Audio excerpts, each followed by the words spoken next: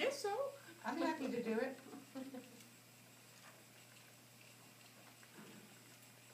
Yeah, I'd Okay. like to see how far you get on your project.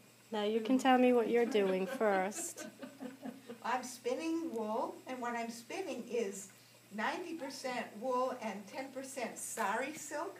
So it's black, but it has some heatheriness to it that's reds and greens and white and yellow. It's really pretty.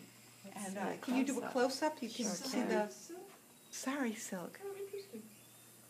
So when it's plied Ooh, with it's something else, it's really pretty. Very pretty. And then. And this is what it looks like unspun. Oh, Ah, very good. Thank you. And how about you? I'm just learning how to spin. Mm-hmm.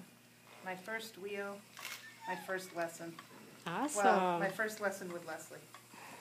I've had my first lesson with my mother-in-law over here, who's Okay. also a spinner. Oh, nice. And you didn't bring your spinning today?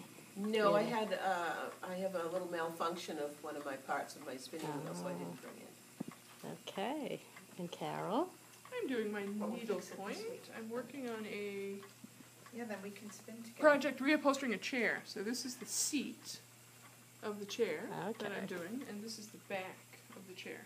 Nice. And I like to work on a frame to keep the work from getting twisted.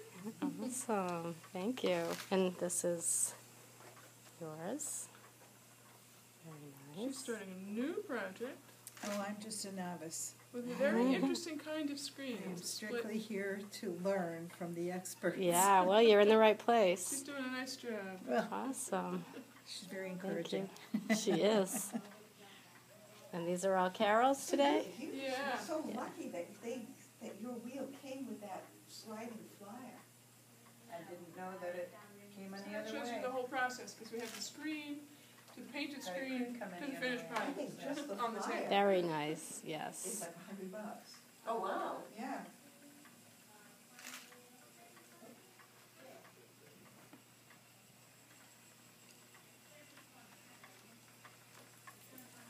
I love seeing the wheels go. Yeah. That's great.